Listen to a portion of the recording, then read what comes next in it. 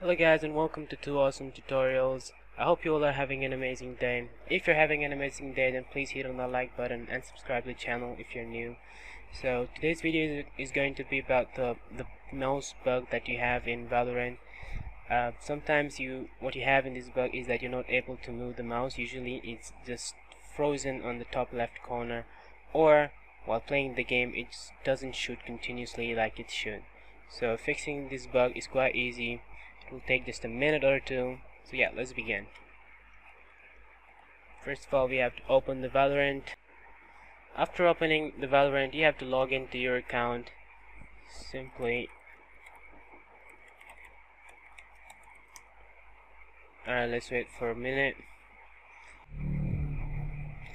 So after you see the first um, loading image that you get over here, your mouse usually goes to the top left corner.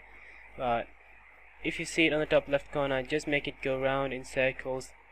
So it will just come down to the circle and it will move just like the way I'm moving it. You can make it go in circles or just keep moving it anywhere just so it doesn't get frozen on the top left.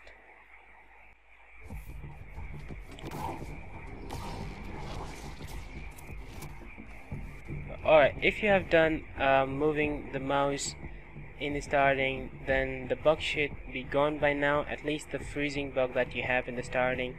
Now now if you go to play the game and and try to shoot someone it shoots sometimes but then it stops for a while and then shoots again.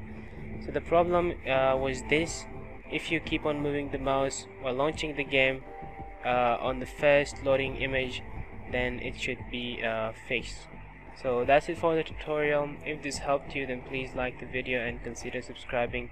But if this didn't help you then please leave a comment. I'll be uh, making sure to respond every one of you um, and tell you how to fix it. So thank you for watching and see you in the next video.